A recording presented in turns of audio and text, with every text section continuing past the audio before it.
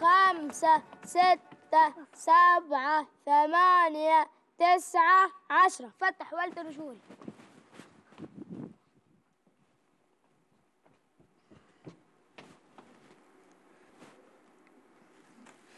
مساء بسم الله الرحمن الرحيم. أين هم؟ لقد تركتهم هنا.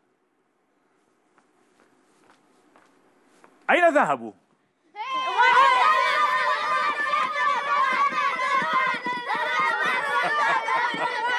لقد أفزعتموني. عفوا يا عم الحكواتي. عفوا يا عم الحكواتي. غبت عنكم لحظة فأقمتم الدنيا ولم تقعدوها. لقد أردنا أن نلعب في غيابك. إذا كنتم تريدون متابعة اللعب فأؤجل حكاية اليوم إلى الغد. حسن. حكايتنا اليوم من سوريا. قد يقول قائل بعد أن يسمعها لكن هذه الحكاية تروى في بلادي. لا بأس. أوليست كل بلادنا عربية؟ ومن الطبيعي أن تتشابه فيها الحكايات الشعبية. عنوان الحكاية علاء الدين والأميرة التي لا تتكلم. تقول الحكاية كان يا مكان في قديم الزمان لحتى كان. كان هناك ملك اسمه بهاء الدين. لديه ولد وحيد اسمه علاء الدين.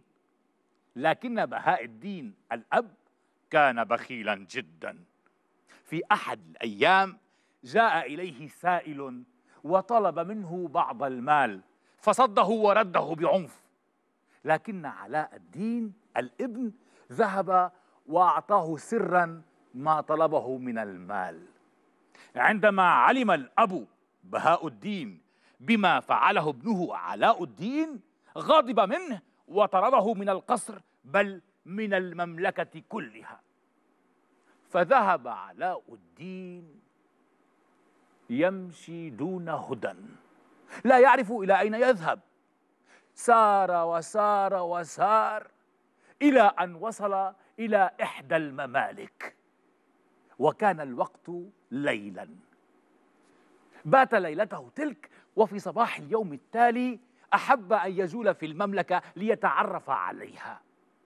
فوصل في جولته إلى أمام قلعة شاهقة ولفت نظره تسع وتسعون عمامة كانت معلقة على برج تلك القلعة. ما هذا؟ وليس بعيدا رأى قصر الملك وكان حوله الناس يتجمعون وعلى وجوههم علائم الحزن. اقترب منهم وسأل أحدهم عن سر حزن الناس وسر تلك العمامات المعلقة على برج القلعة. فقال له أحدهم إن الأميرة بنت الملك قد توقفت عن الكلام منذ مدة طويلة جدا. فأصدر الملك فرمانا من يستطيع أن يعيد الكلام إلى الأميرة فله نصف مملكتي وثروتي ويتزوج من ابنتي. وقد تقدم إليها الكثير من الشباب حاولوا معها من داخل المملكة ومن خارجها حاولوا أن يعيدوا إليها الكلام أن يحدثوها ولكنهم لم ينجحوا. وكان الملك يسجن كل من يفشل في محاولته مع الأميرة ثم يعلق عمامته على برج تلك القلعة. حتى صار عدد الشبان تسعة وتسعين شابا. أنا إذن فكر علاء الدين لماذا لا أقوم أنا بمحاولة أيضا؟ فطلب أن يرى الأميرة ويحدثها وسمح له بذلك. دخل إلى القصر وجاءت إليه الأميرة برفقة الوزير طلب علاء الدين الإذن بالكلام فسمح له. فقال للأميرة اسمعي يا مولاتي هناك لغز حير الكثير من الناس واستعصى الحل على الجميع. سوف أقوله لك وأرجو أن تساعديني في حله. يقول اللغز مات أحد الرجال وقد ترك خلفه ثلاثة أبناء وترك لهم وصية بتركته كلها أي بكل ثروته. وكانت ثروته مؤلفة من سبعة عشر جملا. وهم ثلاثة أبناء. كتب في وصيته الابن الأول الأكبر يأخذ نصف الثروة والثاني ثلث الثروة وأما الثالث فيأخذ تسع الثروة. وترك هذه الوصية عند القاضي. عندما مات الرجل ركب القاضي جمله وجاء لكي ينفذ وصية الأب. فكيف يوزع الجمال بالعدل على الأولاد الثلاثة مع أن العدد سبعة عشر لا يقسم إلا على نفسه؟ ما رأيك يا أميرة؟ فصمتت الأميرة ولم تجب. سوف نتركها في صمتها وتفكيرها ونحاول أن نحل اللغز نحن هنا الآن. من يستطيع أن يقسم الثروة بالعدل دون أن يقسم أي جمل؟ إلى نصفين. أنت. آه، أن كل كل واحد يأخذ اثنان والثاني يأخذ أربعة والباقي يأخذ الثالث. لم يكن هذا الحل. من لديه حل ممكن؟ وكذلك الجميع في المملكة. لم يكن يعرف أحد حل اللغز. فقال علاء الدين ما رأي الوزير؟ كيف يقسم القاضي الثروة بالعدل؟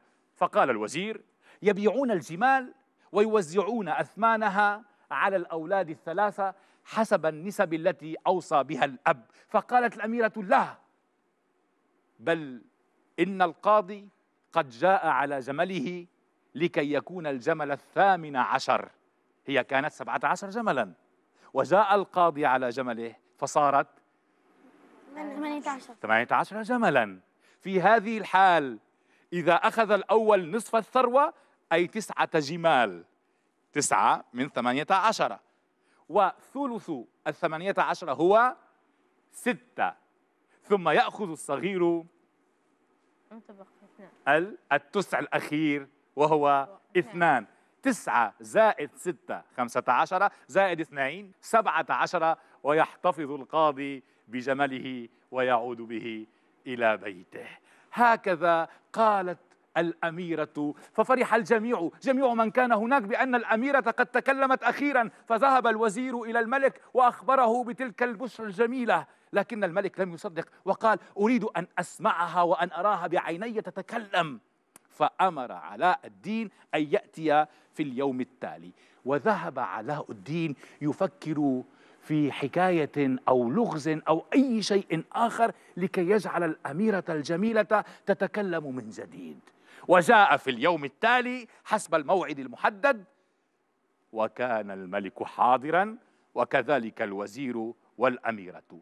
جلس علاء الدين وطلب الإذن بالحديث فسمح له فقال كان يا مكان كان هناك ثلاثة أخوة ولهم ابنة عم جميلة جدا وكانوا يحبونها. وكل واحد منهم يريد الزواج منها. لكن عمهم قال لهم سوف أزوج ابنتي من الذي يأتي لها بأحسن مهر وأغربه. فانطلق الثلاثة في بلاد الله الواسعة. كل إلى بلد. وصل الأخ الأكبر إلى مكان بعيد جدا. فعمل عند أحد صانعي الزجاج مدة من الزمن. وكان جادا وفيا لعمله. فكافأه صاحب العمل في النهاية بأن أهداه مرآة يستطيع أن يرى من خلالها أبعد مكان يريد. أما الأخ الثاني فقد ذهب وعمل عند مزارع كان لديه الكثير من الأراضي والدجاج. وكان بين الدجاجات دجاجة غريبة الشكل واللون كانت مختلفة. عندما انتهى عمله هناك كافأه صاحب العمل على جهده بأن أهداه تلك الدجاجة قائلا له إنها تشفي المريض. فأخذها. أما الثالث فأنه بحث عن عمل مدة طويلة لكنه لم يجد. وفي أحد الأيام التقى بعض الأخوة الذين كانوا يتنازعون فيما بينهم من أجل ثروة أبيهم. فقدم لهم الحل فأهدوه بساطا غريبا هو بساط الريح. فصعد على متن البساط وانطلق. في ذلك الفضاء الرحب يبحث عن أخويه حتى وجدهما. فرح الأخوة باللقاء من بعد غياب ثم أرادوا أن يروا ابنة عمهم. فإذا بالأخ صاحب المرآة يضعها أمام الجميع وإذا بابنة العم مريضة مرضا شديدا خافوا عليها فقرروا أن يذهبوا بسرعة. على متن ماذا؟ على متن البساط بساط الريح. وانطلقوا. وهناك عندما وصلوا كانت بلا حول ولا قوة. فقدم لها الأخ الأصغر الدجاجة التي تشفي من الأمراض. فطبخوها وأكلتها وبإذن الله رب العالمين شفيت. من مرضها الغريب العجيب. وهنا سأل علاء الدين لمن تكون ابنة العم زوجة؟ لصاحب البساط الذي أتى بالأخوين بسرعة؟ أم لصاحب المرآة الذي رآها مريضة وعرف بمرضها؟ أم لصاحب الدجاجة الذي أهداها إياها فأكلتها فشفيت؟ وهنا قال الملك طبعا لصاحب البساط. فقالت الأميرة لا بل لصاحب الدجاجة فهو كان سبب شفائها بعد الله عز وجل. وهكذا رأى الملك بأم عينيه كيف أن ابنته الأميرة التي صمتت عن الكلام وقتا طويلا قد عادت تتكلم بإذن الله وبفضل حكاية ذلك الشاب علاء الدين. فأعطاه نصف ثروته ونصف مملكته وزوجه من ابنته. لكنها اشترطت قبل أن يقيموا العرس أن تطلق سراح جميع الشبان المسجونين بسببها في القلعة.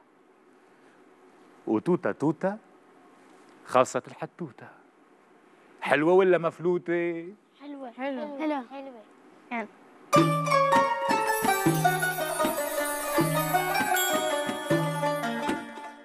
مملكة قصورها من الشمع ولا تحكمها إلا الملكات. تستمد الرعية غذاءها من رحيق الزهرات فتصنع منه غذاء للإنسان ليس أحلى منه على مر الأزمان. فعن أي مملكة نتكلم؟ إذا عرفتم الإجابة فأرسلوها إلى موقعنا الإلكتروني الذي سيقوله لكم محمد www.jcctv.net www.jcctv.net إذا عرفتم حل الأحجية فلكم جوائز مجزية Thank you.